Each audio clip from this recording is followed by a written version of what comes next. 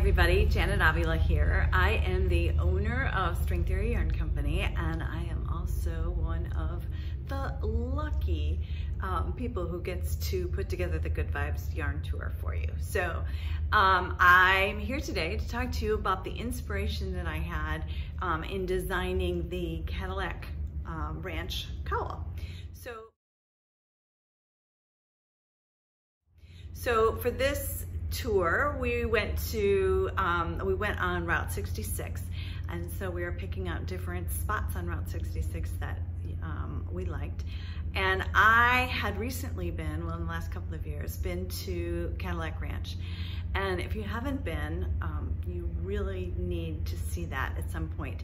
It is a series of Cadillac cars that are stuck into the dirt this way. There's probably a dozen maybe um, of them and they are covered in paint. Um, the thing is that people come and they bring their spray paint cans and they paint graffiti or their names and so many people um, paint over them all the time that the crust of paint on a car is very, very thick. So um, this cowl was, um, I designed based on the yarn that we got. So I sent a picture of the Cadillacs all painted to um, the owner of, the artist behind uh, Destination Yarns and she and she came up with the most beautiful colors and I was just thrilled. You can see it on this side.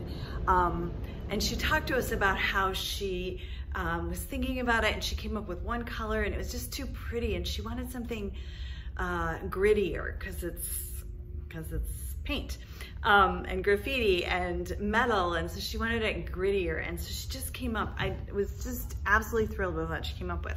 Very variegated so if you've got some yarns out there that are very variegated and you're just not quite sure what to do um, I recommend this this cowl for those.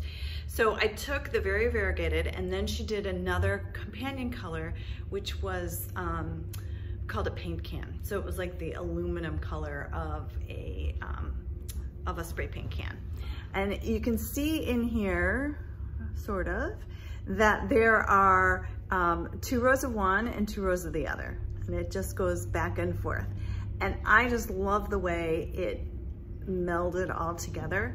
So if you have a speckled yarn and um, or a very variegated yarn, you could pull one of the colors out from there and use that as your second color, your, your solid color for this.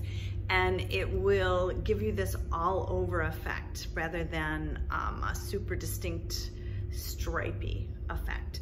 Um, often when I'm telling people to combine colors, I'm saying, okay, pick a variegated and then pick a color that's not in there so that you get the contrast stripes. But for this, um, I think it's kind of cool if it melds a little bit. So get your variegated and then pull a color out of there for this.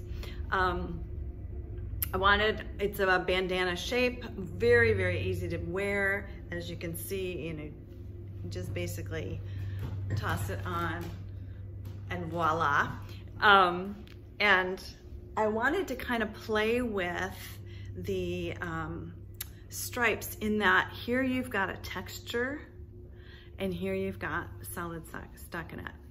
I just like seeing the way colors play on the um, different stitches. And so um, I wanted to make sure that you could see both, both textures in there. So that's what I did when I came up with this. I also threw in a bunch of my favorite um, techniques that you'll see in the pattern and um, you'll have enough, I believe, um, to make two. Um, actually, I made a pair of socks, short socks with my leftovers. So um, yeah, so it doesn't take a lot of yarn, which means it goes really fast and um, fun project to make and fun to wear. So I hope you enjoy it as much as I have. Thanks.